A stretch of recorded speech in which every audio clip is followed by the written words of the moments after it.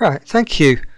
Your order form has now been emailed to us, so I'm going to show you how to work the payment page now. Now, I'm going to assume that you claimed your discount code. If you didn't, these buttons over here work exactly the same way as what you're going to see on the discount page. So, you know, I'll assume that you did. And if you did, you're going to click here like so.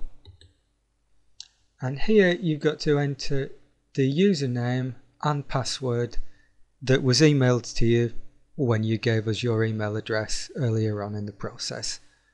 So I'm just going to pause the video while I enter those things and uh, log into the discount payment page. Okay, I've uh, now accessed the discount payment page, which you may notice the only difference is it doesn't have that click here writing down there. And these buttons offer you lower values that you can pay now. So just click on whichever corresponds to what you bought. One person framed is the most popular, so I'll use that as an example.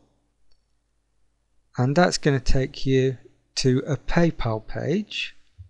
So we can choose a way to pay this amount.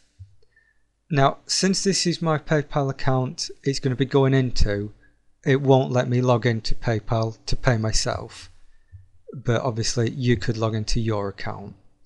So I'm going to show you using a debit card how this is going to work. And again, I'll just pause the video while I enter my debit card details. Okay, so I've filled out those details. I'm going to click on continue.